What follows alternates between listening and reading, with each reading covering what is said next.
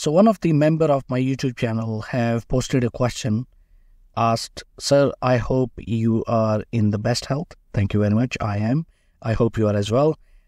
The question is I need your assistance to create an employee form in which I give an employee number and rest of the data should be shown on the form in Microsoft Access. For example, if I enter the employee number, his credentials like name, designation, section, date of joining, etc. will be shown on the form itself. And this is what I'm going to demonstrate in this video. Thank you very much for the question.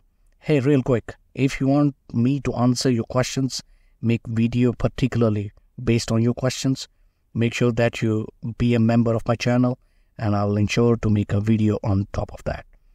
If you haven't subscribed to my channel, welcome to Loop Learning. Please make sure that you subscribe and hit the bell icon so you get notification whenever I upload a new video. So let's get started and let's make this form and let's answer this question. So now we are in Microsoft Access. You can see that I have already created a form form uh, the that consists of the fields, for example, system ID, which is by default an ID, employee ID, which we will define, employee name, designation, department, date of joining, manager name, and employee status.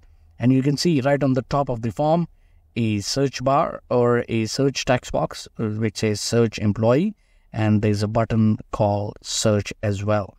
I have created a small database of the employees, the dummy employees. So we have employee IDs, okay?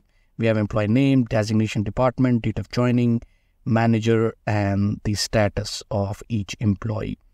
So we are going to answer the question, and the question was if employee number is given in this text field, text box, and the button is clicked, the data is populated, the respective data is populated onto the form itself. I hope that was the question.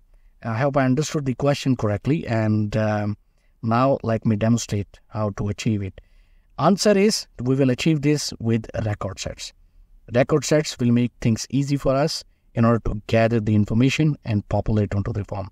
Now, you can achieve these same results using the SQL, hopefully, uh, but record sets I will be using in this video and I will be searching for a record and I will be populating onto this form. So let's go ahead and do that.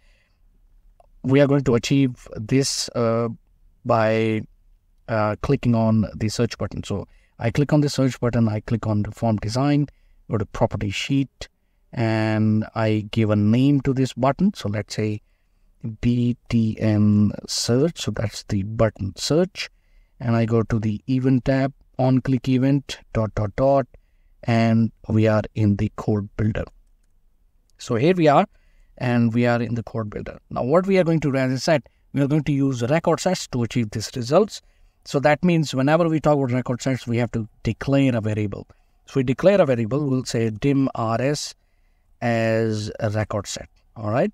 Now, once we have declared the variable, we will set that variable. We'll say uh, set rs equals current db db dot dot open record sets record set parenthesis open parenthesis close and in between the parenthesis we will give a reference of a record set which mean the table that's where we are looking for the data from the employees table so we give the name of the employees table now are we reading the information from the table only are we going to change any information in that table well, not at this stage. What we are doing is we are actually just reading the information from this uh, particular table or the record set. So that means we have to provide the additional type and options in uh, this uh, record set declaration. So let's say comma, and it is asking type and the option. So what type we are going to, uh, because we are reading the information, so let's say db open snapshot option will be db read only. So we're just reading the information. Uh, I have done some mistakes. So instead of db, I typed in sb. So db open snapshot and db read only. That's the information we provide. Now we have declared the variable. We set the variable equals to record sets, which is employees table. Now what we need to do is we need to find out what employee what user has given the input in this text box is available in the record set. So we are going to find out if that information is available. So how do we do that? Well, let's see. So let's say rs dot find first. Okay, rs dot some for some reason my keyboard is messed up. Anyway, rs dot find first. Now it is asking, okay, tell me what should I find. So we are going to tell what needs to be find. So what we are going to tell is you find the employee ID, which is emp ID. emp ID equals and the double quotes closed ampersand equals to what? Now it is saying, okay, I will find this employee ID against what? What what text what text box? Okay, I'll click OK. All right, sorry about that. I'll click OK and I come to the employees uh, form and I give reference of this text box. So basically what I'm saying to Microsoft Access that hey, find first the employee ID from the record set which is equal to the record set here which is mentioned in this text box which is named as txt search. So ampersand me dot txt search. Okay, ampersand now, I want to mention one thing. Some, you know, unique IDs or employee numbers uh, will consist of the characters. Here, my employee IDs are all integer, right? All the digits from 1 to uh, 9. Now, some employee IDs, as I said, will consist of some characters. For example, you know, uh, E slash or E dash 1001. Maybe that's the employee ID. Um, so in that case, what you need to do is you need to define here. Okay. So if the employee ID or the unique ID which you are referring uh, to find the information, uh, that you have to see what is that. Is it uh, the integer which is just numbers, or it includes uh, the numbers and the numerical value? Uh, sorry, alphabetic numerical value. If that's the case, then you have to define here. So it's quite easy. A single uh, quotation mark and the single quotation mark. That's it.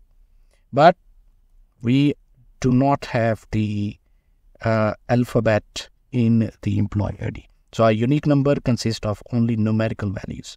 All right, that's what I wanted to clarify and I wanted to explain because you know I used to have a lot of trouble when I was learning this. I learned this in a hard way Anyway, I've learned this, thank God. Anyway, now we have given the instruction to find. Now Access is asking, okay, I'm going to find it. But if there is no record, what sh- what do you want me to do?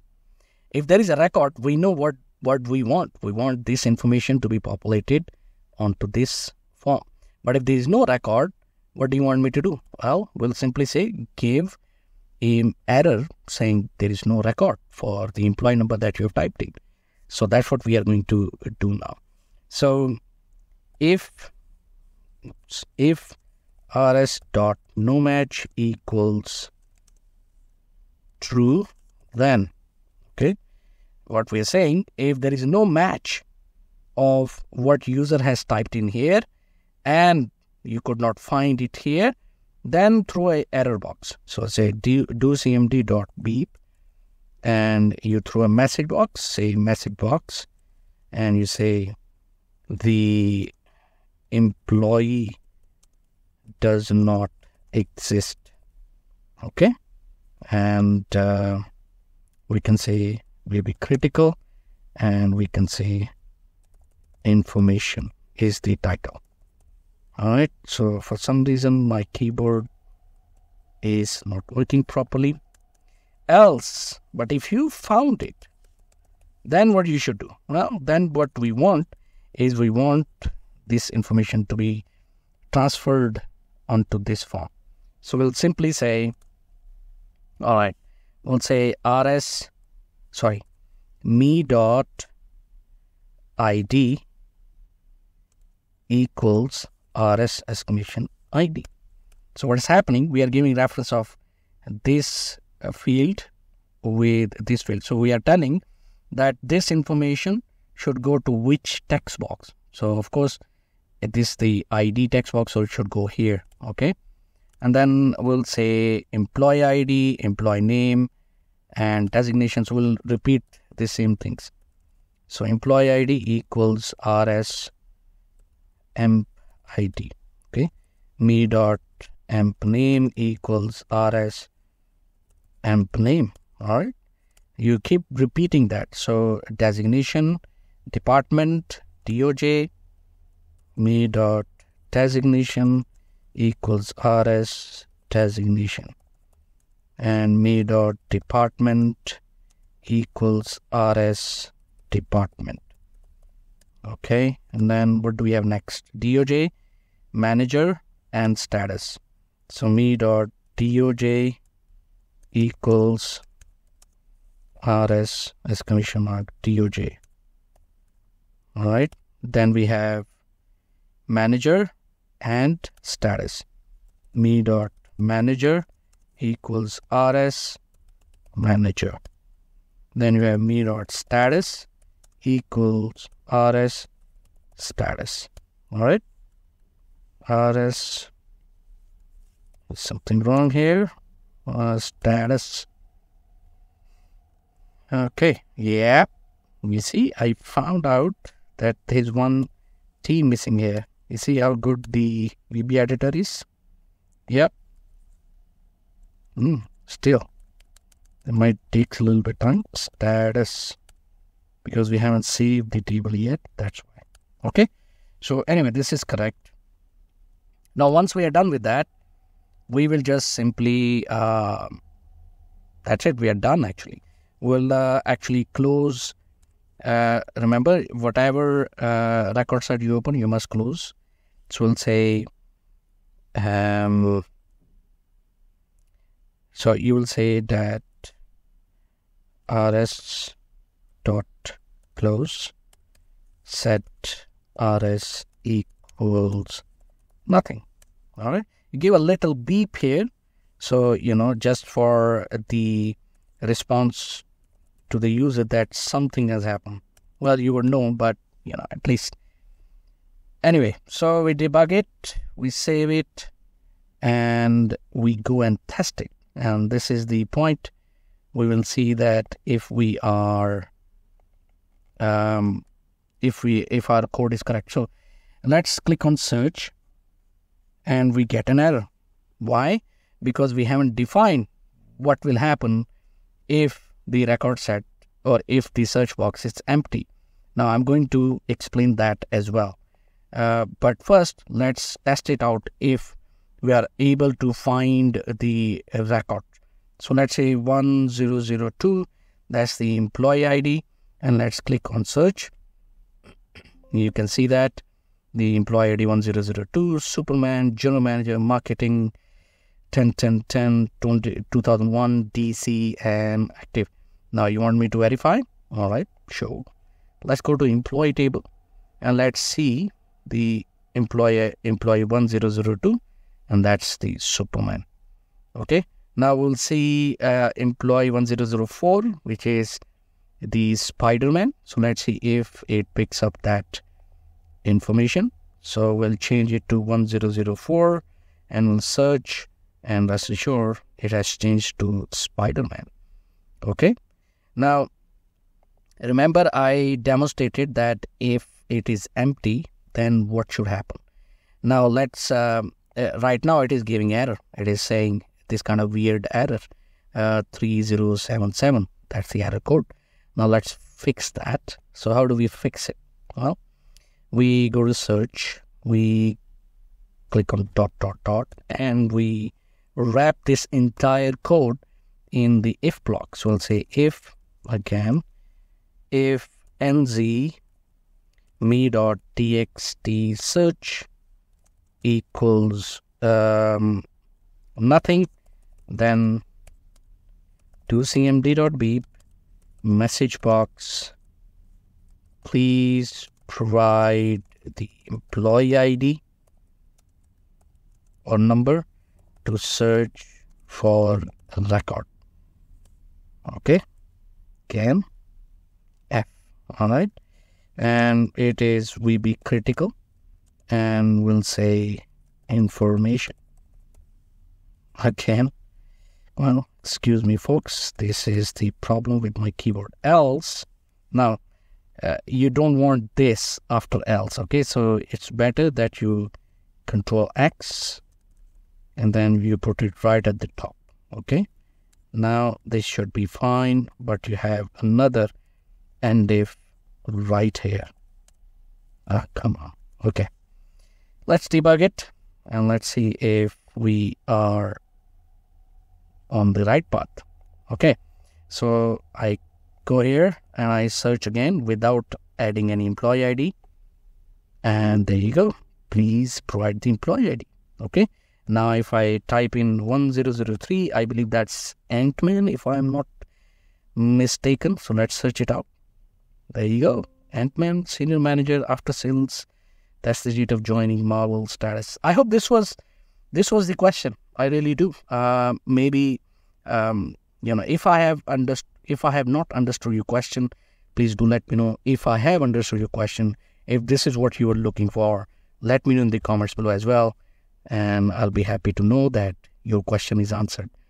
Anyway, this is it. This is what I wanted to demonstrate. Thank you very much for watching this video. If you're still watching, you are legend. Um, thank you and appreciate it. Uh, keep supporting the channel. Subscribe to the channel. Hit the bell icon so you get notification whenever I upload a new video. Thanks very much, and I'll see you in the next one.